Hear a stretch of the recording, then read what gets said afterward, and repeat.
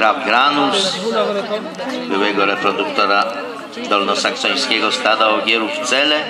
Graf Granus wygrał jedną z edycji yy, hanowerskiego Ogiera Roku. Ten tytuł przyznaje Związek Hanowerski dla reproduktorów za osiągnięcia ich potomstwa w sporcie i w hodowli. A Graf Granus do dzisiaj uważany jest za najlepszego syna hanowerskiego Ogiera Granus, który wielokrotnie zajmował czołowe miejsca na światowej liście reproduktorów potomstwa do konkurencji skoku przez przeszkody.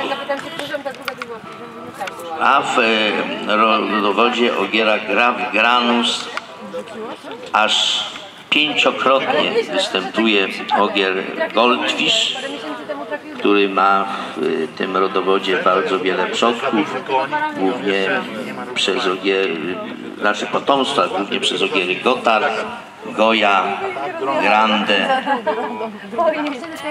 a matka Kracigala, hanowerska Klażra Gaza, to córka Ogiera Rabino, który z kolei jest po holsztyńskim Ogierze Ramiro Z, a Ramiro Z to wnuk polskiego Angla Raba Nie Ramzes. być takim małym, jak Kasia. Wygodniej Ale takie. chciałabyś, co? No, kurde, wygodniej tak. A tak to ciągle większy fragment.